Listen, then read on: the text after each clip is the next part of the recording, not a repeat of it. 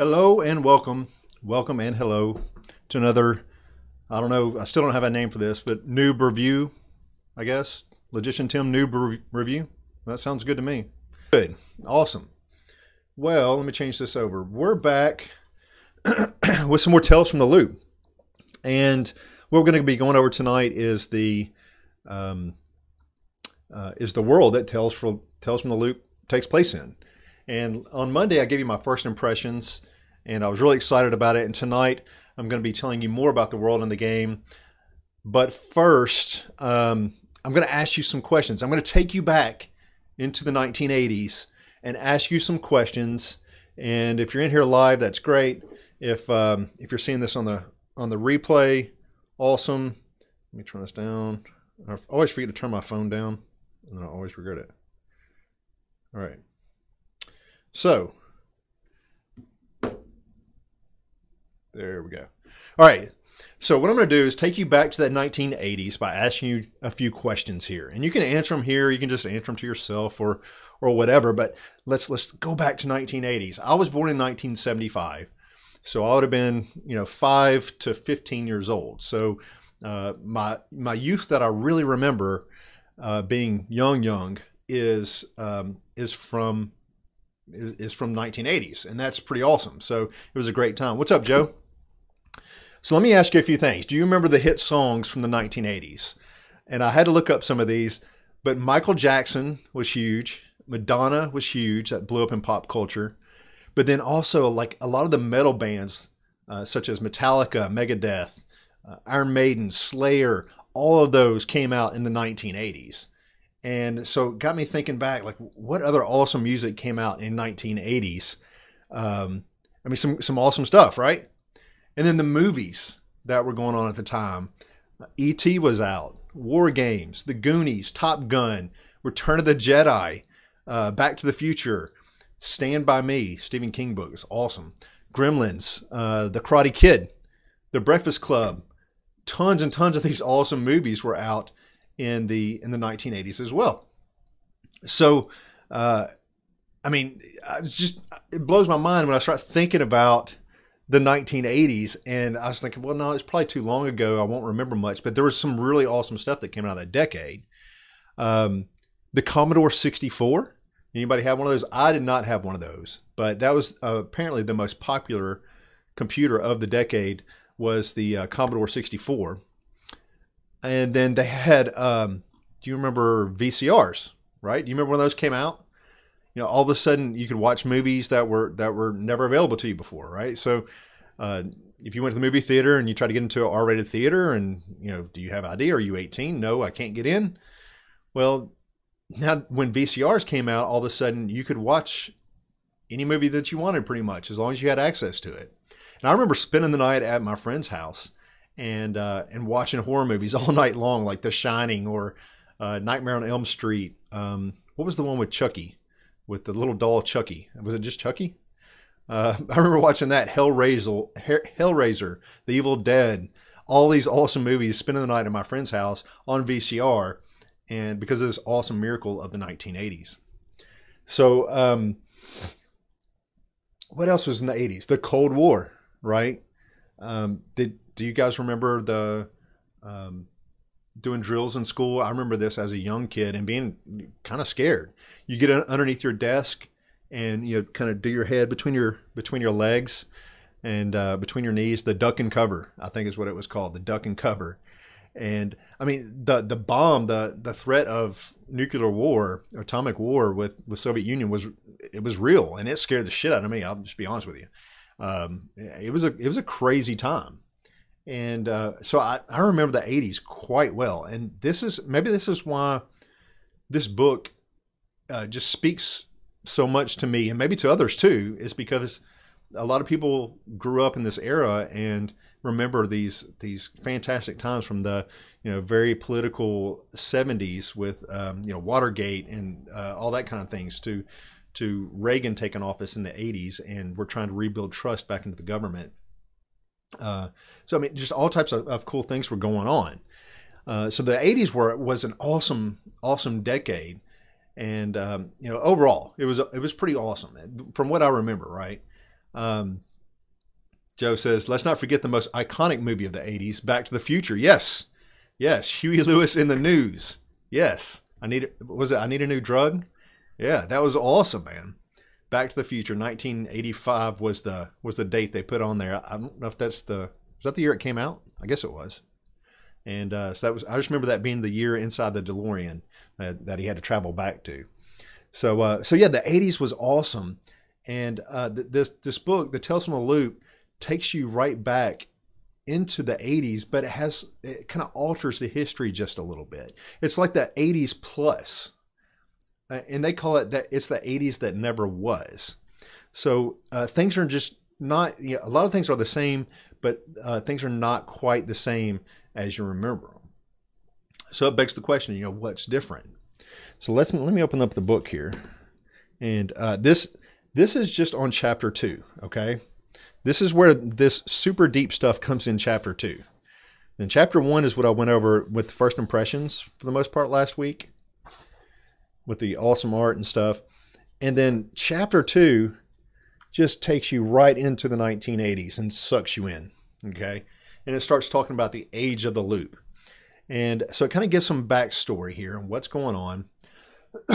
Sorry, I got a little cough. So Joe says uh, Back to the Future was 1984. Holy smokes. Wow, that's a long time ago, but it doesn't seem like that long to me. So uh, in the years after uh, World War II, all the major powers started investing you know massive amounts of time and energy uh, into experimental research programs, and uh, most of them didn't yield many results, but a few of them paid off big time. And one of those, and again, this is all in the book. This is like the altered version of, of the 1980s here. One of those experiments that that paid off so big, so big was what's called the the magnetrine is it magnetrine or magnetrine? M A G N E T R I N E. Magnetrine, magnetrine effect. Okay. And this is discovered in the Soviet Union. And um, it gave rise to these um, to this awesome technology that um, allowed like these giant freighters and things to uh, to be elevated off the ground using this kind of anti-gravity technology. And so, and it goes really deep into how this magnetrine effect works. And they, they put these these uh, magnetrine devices on the on the bottom of these vehicles and allows them to lift you know a lot of weight. And it uses the magnetic energy from uh, from the earth to allow it to work. And so it's it's just a it's a really cool thing. And the book goes really deep into it. I don't have a lot of time to go into it tonight but the book goes way into it. And so the science fiction part kind of takes over in me. And uh, and and it, it kind of solves that. It's, it's great. So anyway so this this magnetrine effect uses um, the the Earth's gravitation or not gravitational, but magnetic um, field to lift these um, these giant freighters. That some of them are 300 meters long that can lift 10,000 tons, and they can float above the northern hemisphere. They said because the southern hemisphere, it's the magnetic field is weaker, and so it doesn't allow for these giant freighters. And so these these freighters are, are commonplace in this in this type of world and uh, uh, you know they use this type of technology to float above the ground, carry tons of weight, and um, so so it kind of gives you this background about after World War II about how all these governments are doing these experiments, and uh, the magnetrine effect is one of them that pays off. And now in the 1950s, the world's first uh, particle accelerator is built in Boulder City, Nevada, and it's part of a military program. And um, the scientific um, achievements weren't really made clear. But uh, just a few years later, uh, in the 1960s, Sweden built an even bigger one. And uh, they built it in a place called the Malaren Islands, which is just outside of Stockholm. Again, this is just in the book. Um, so scientists from all over the world apparently flocked to this largest particle accelerator uh, to, to you know, kind of play out and run their experiments. And the locals end up naming this particle accelerator the loop. And so that's where we get the term the, the loop from. Okay, so it's giant particle, around particle accelerator into the ground. They call it the loop. Well, at the same time as this, uh, a company in Japan perfected what they called uh, the self-balancing machine in their laboratories. And so, and then uh, late, you know, 1970s and into the 80s, these machines, what most people now call robots, they become commonplace in industry and into defense forces. And so Japan kind of perfected these these self balancing machines they call robots. Um, so the kids, you know, in the in the world, they might they might see these giant, you know, mega freighters floating in the sky, or these these robots of varying sizes, you know, wandering around the Earth. Yeah, Joe, just like CERN. So basically, just like CERN. Um, so these kids might see these giant mega uh, freighters flying overhead, or these robots, you know, of all different sizes, from uh, from really small to very large, uh, they would see us uh, see them like we might see a helicopter flying or some big giant, you know, military aircraft, uh, plane fly over. You know, it's really cool to see, but at the same time, it's not anything out of the ordinary. And so it doesn't. It's not anything that surprises the kids. It's things that they they've seen before. They're aware that exist, um, and they're just they're just cool, but they're not out of place. And um, so the book really breaks down uh, the scenes in or, or, the locations in two different places um, being able to take place, either in uh, in Sweden or in Boulder City, uh, Nevada. So what I'm going to do, and, and they break down each the location of, of both places very well and really suck you into either one that you choose to play in. I just I went through the Swedish one just because it was first and it had a lot of the um, a lot of the material in it uh, was was just well, both of them are easily broken down, but it just had it uh, right there in front of me. So I just broke down the the way that they uh, they gave us the Swedish introduction to the world first.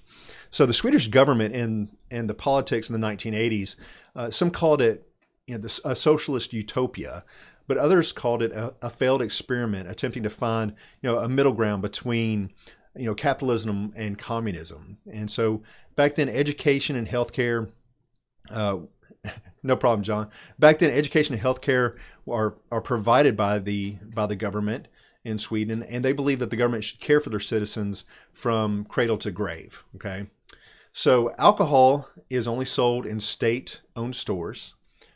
There's only two TV channels, both state-owned, and they show a mix of U.S. soap operas, Swedish social realist dramas, and cartoons from behind you know the Iron Curtain back in Soviet Union. Uh, officially, Sweden is neutral and it is not aligned with NATO or the Warsaw Pact. They have good relations with the Soviet Union and the United States, but there's like an open secret with uh, the Swedish military and along with uh, some politicians and a lot of the residents in Sweden that they see actually see Soviet Union as an enemy, and that is that is um, reaffirmed in 1981 when a Soviet submarine uh, runs aground and the threat kind of becomes real. So that's kind of how the Swedish government and politics were in the 80s. Now, in uh, Swedish society in the 80s, uh, yuppies were around and they like to celebrate their UK or United States influences, capitalistic influences, by driving a Porsche and maybe, you know, carrying around those giant cell phone bricks. You remember those things? They're like, they're huge. Uh, so you saw that a lot in the 80s. You know, kids were often playing with with garbage pail kids. I love garbage pail kids. Uh, they're playing with He-Man, the Transformers. All those things were popular. Uh, I told you before, most houses had a Commodore 64. Uh, this is what's really cool is uh, pen and paper games became very popular. And I'm going to mess up this name. They call it Drakar och Demoner and another game called Mutant. Both of them uh, selling over over 100,000 copies each. What's up, Jay? And so uh, Drakar och Demoner, it almost sounds like Dungeons and Dragons or something of the sort, I'm assuming. Uh, but that was uh, pen and paper games were very, uh, very popular. Now the 70s were a really political, uh, was a really political decade, and the 80s uh, were more individualistic. Okay, and uh, so people taking vacations and those type of things more than ever before. So what was what was growing up like in uh, in Sweden in the 80s. So a big part of the community sees you know parts of pop culture such as like the horror movies and computer games, the heavy metal, the pen and paper games to be like soul corrupting. Like it's gonna it's gonna corrode the youth. It's gonna corrupt the youth, um, and and so they, they were really frowned upon by you know a lot of people in the government. It was on TV news all the time. Parents didn't know what to think about it. Uh, you know, trading trading VH, VHS tapes with your friend, uh, with your friends at school is a big hobby. You know, allowing you to watch those hard to find U.S. made movies that everybody's talking about. Excuse me. And then also getting a copy of some pirated uh, cassettes, yes, cassettes full of Commodore 64 games uh, would be like finding treasure for those that, that are into, into the Commodore 64 stuff. And so that was that was really big into the 80s in Sweden growing up there.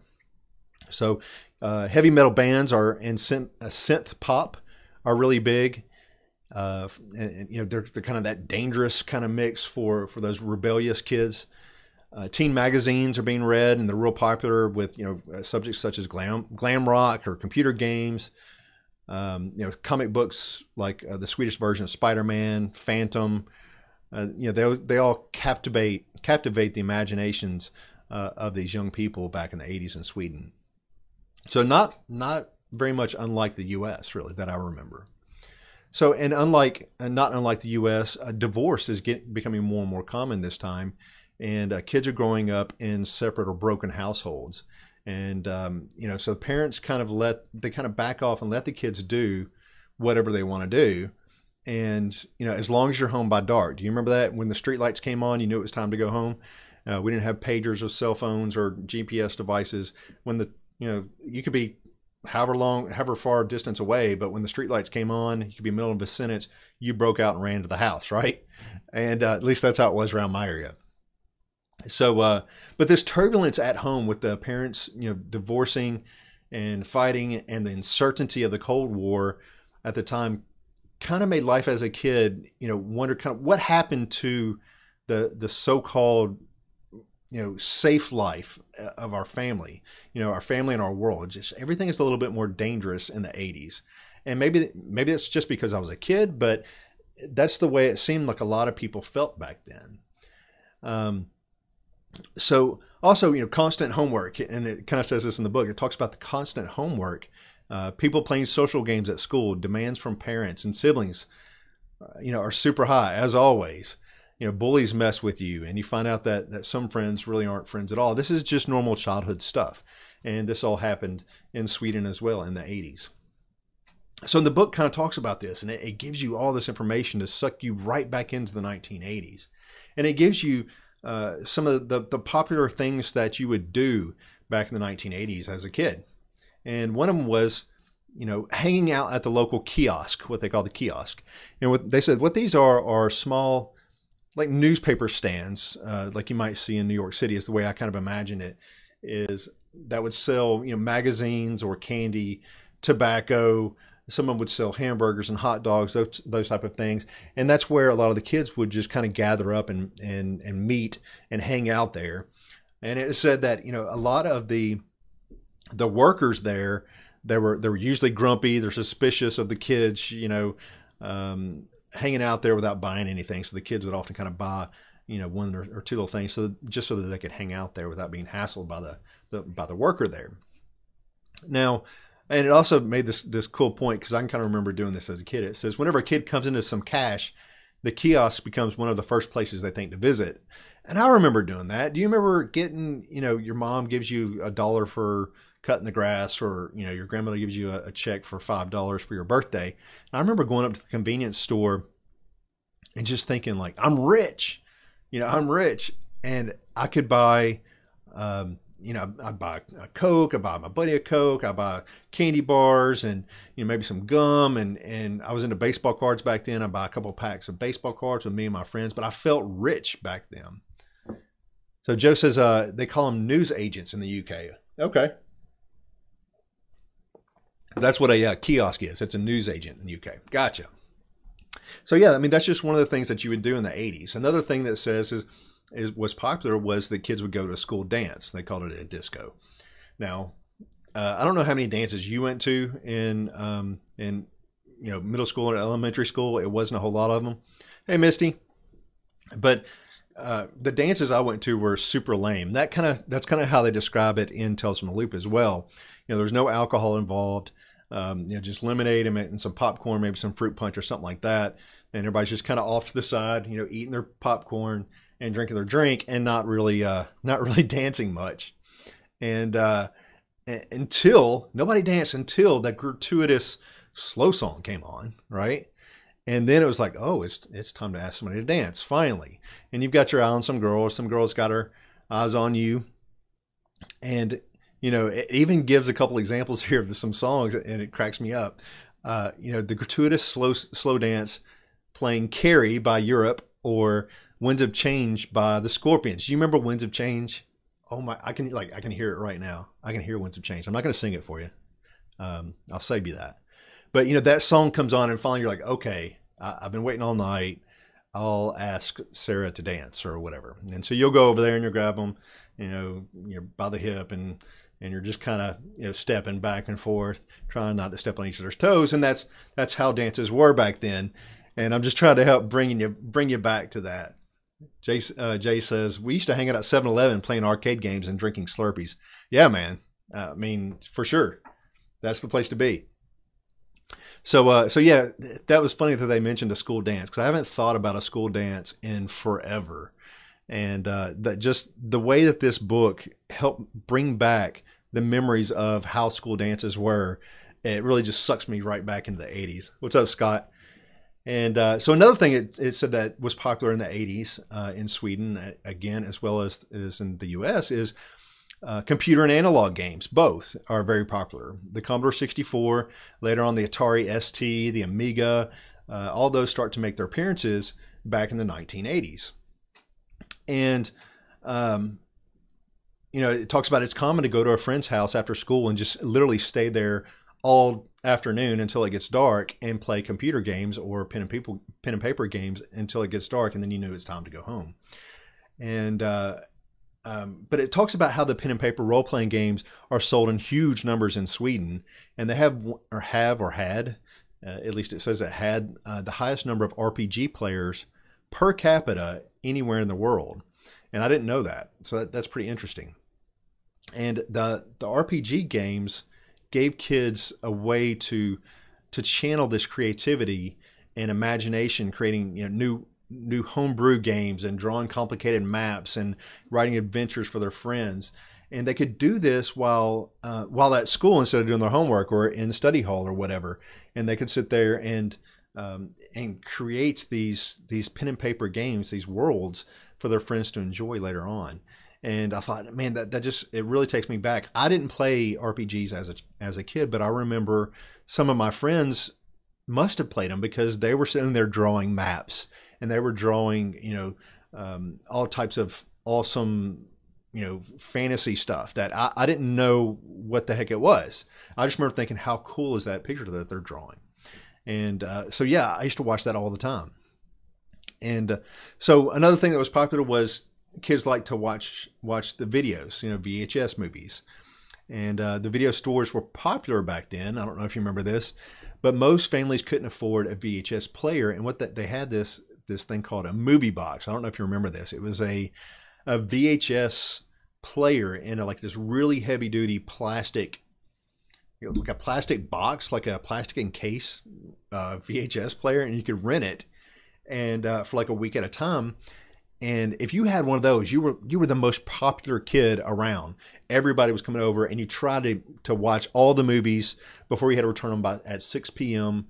And and uh, before you had to return your movie box back for the week, you just sit there and veg out and watch all the movies you possibly could. And uh, so let's see, where was I? So yeah, I talked about that. You know, there was a big debate, and I think you probably remember this about violence in movies, and especially with the access that kids had then with VHS movies and uh, watching Hellraiser. Did anybody remember what the Chucky movie was with the doll? I can't remember the name of it. Was it just Chucky? I, I can't remember. But I just remember watching Chucky over and over again at my friend's house because he had it on VHS, and every time I'd spend the night, we'd watch that, and it was awesome. But I remember my my parents telling me, um, you know, be careful what you watch. You, you can't unsee something, and I didn't really understand what they meant. And so there's this big argument going on in the world about how you know these horror horror uh, films and how these RPG games and these computer games, how they could possibly corrupt the youth. And uh, so that was a big thing. Uh, but for us as kids, um, every VHS just kind of seemed like a mystery to explore. It's just a new adventure. And that's the way that we saw it. Grab a drink of water. And that's how all this stuff is described in the in the book Tales from the. Uh, they tell you all these these really awesome details that that really suck you back into this world super quick, and and brought up all these memories that I didn't that I had forgot about, you know, and so it just brings you right back in. So, if nothing else, just read it for the lore. It's incredible. So then, so and it keeps going with this, and it and it talks about the. I should have been flipping through my book some. Sorry about that, but um, it talks about you know the, the kids growing up, going sledding, and the VHS tapes, Child's Play. Yeah, Child's Play. Thank you, Misty. Thank you. And then there was a sequel. I think it was called uh, Bride of Chucky or something like that. But yeah, Child's Play is what it was. Good job. Good job. You get a you get a star sticker or something, Misty. Um, Jay goes. I remember recording things on VHS LP mode. Yeah, where you could put nine hours of movie on a single tape, but the quality was really noisy and grainy. Yeah, I remember that. You had LP and SP. The different modes allowed you to record less or more on a tape, but the quality got worse. So, um, but yeah, there, there's so much awesome stuff in this book, and they go through. Here's the map of of uh, Sweden. Here's where it talks about the loop, which is the, the one of the pictures that are on the cover. And it walks you through Sweden, these different places in Sweden, the Bona Towers, the Defense Research Facility, and it talks about each one separately. So I've kind of gone through what it's like growing up and the things to do in the 80s. And then it walks you through the city and it talks about the different factories there and all these different places where you know the schools are and where the stores are and where um, it seems like there's some some weird stuff going on at this research facility over here. Um, let's see. So yeah, it's it's just got all this all this really great stuff. It talks about the the company that that funded the loop, and it's called Riksenergi or something like that. I don't know how to I don't know how to pronounce that. Riksenergi. Uh, sounds good to me. But uh, and it tells you about this company, and so it really gets you into this um, into this world very quickly and very deeply. So then it talks about the civilian and military technology uh, back in this time. What's up, Sean? And so back in 1943, like I was telling you in this book, the magnetrine effect was discovered, and um, which uses the Earth's magnetic fields to provide lift, but mostly in the northern hemisphere because the magnetic field is stronger. Um, now, uh, the traditional shipping is still used in this world, and it is um, because of the, limitations of the magnetrine effect. Uh, so you still have boats, and, and train is still faster and so there, there's still cars and trucks and those type of things.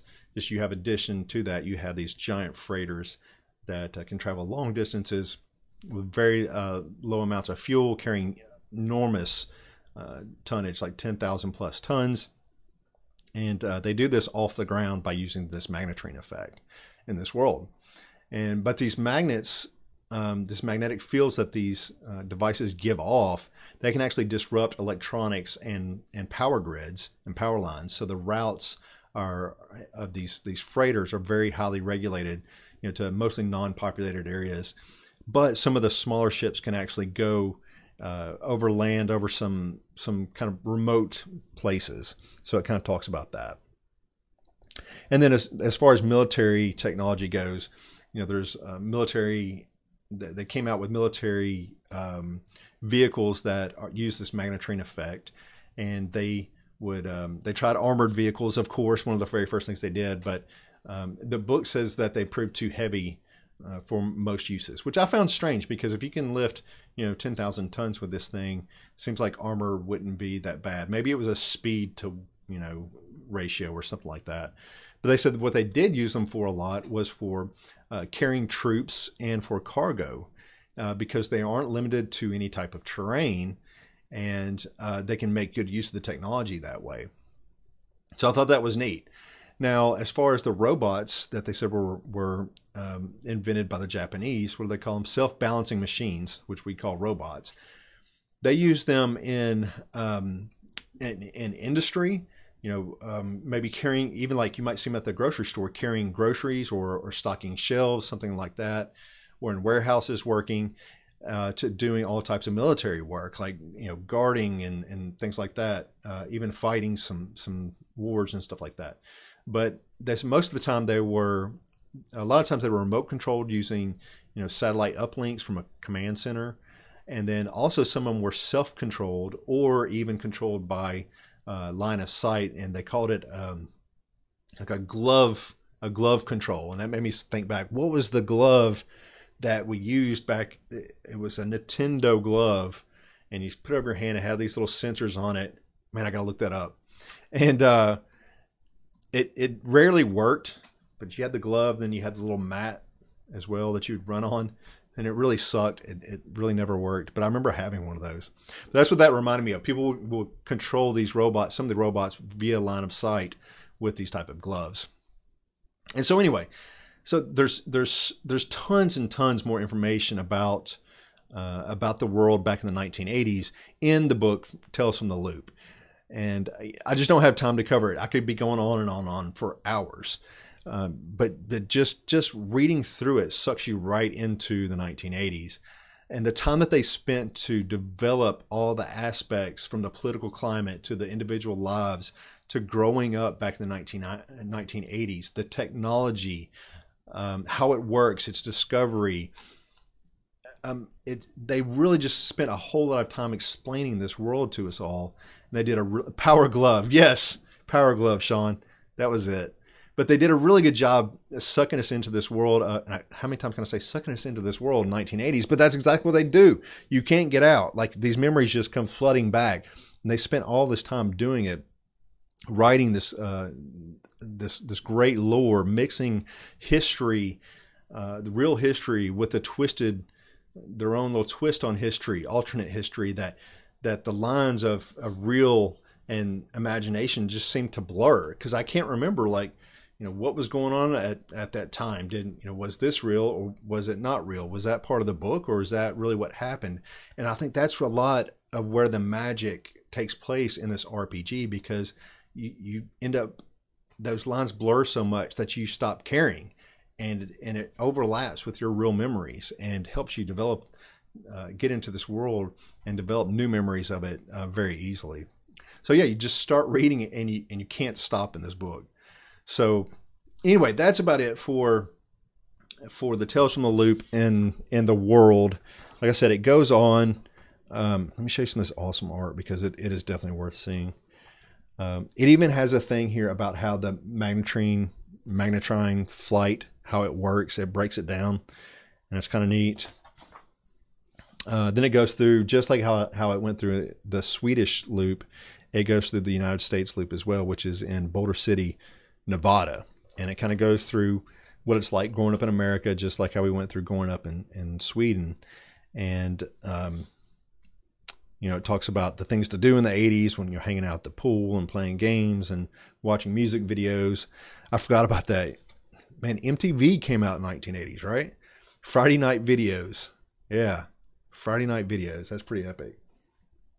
So, um, let's see, what do they have here? Oh, and it goes through like the the salvage place there, the theater, the Boulder Dam Hotel, the airport. Just kind of goes through all these different areas, and it tells you a little bit about them. That way, when you're creating the scenes for your game, that you'll have some details already filled in about uh, where things are located uh, in relation to one another, and a little bit of detail to help get you kickstarted on on what's around and let you helps you set the scene when you start going to different places. I just thought that was fantastic. Look at this giant robot. That's just badass. I don't know if this dude down here is kind of, um, if you look real close, he's got like an, he's holding something with an antenna. I wonder if that's one of those cool power glove things. I don't know. But um, yeah, that's going to be about it tonight. Next time I'm going to be going over uh, the character creation. Let me see here. Yeah, going to be going over the character creation and Tales from the Loop. If you got any questions, go ahead and ask them, and I'll try to answer them before I get off. If not, just throw them down in the comments, and I'll I'll get to them after the stream's over. But uh, yeah, I'm going to be going over Tales uh, Tales from the Loop character creation. How do you create a character? What are all the different types of characters that you can play in this world? Uh, if I have time, I'll probably go over some of the mechanics. Some of them are really unique and really cool, um, similar to kids on bikes that I thought were were super cool that stuck out to me. And uh, they do some some really neat things in Tales from the Loop as well. And so I'm going to go over some of those, how dice rolls work, along with suffering conditions and what you know what happens when you when you fail a roll as well. So I'm going to be going over that. Um, I might I might try to bust it up and do it early and do it tomorrow because there's so much in this book. I'm going to try. We'll just see how the day goes. Uh, if not, if I don't do it tomorrow on Thursday, then I'll, I'll definitely be doing it on Friday. Well, that's about it for me tonight. Uh, Joe says, I say that you're very articulate and present these videos in a concise and entertaining manner? You walk us through with much interest. Well, thank you, Joe. Hey, uh, somebody give Joe a, a star or a, a heart or something or a beer or whatever he wants. Pay the man for the compliment. Pay the man. Anyway, that's it for me tonight. Thank you so much for tuning in. And we'll be back tomorrow night with either some more Tales from a Loop. We might play some Magic. Who knows?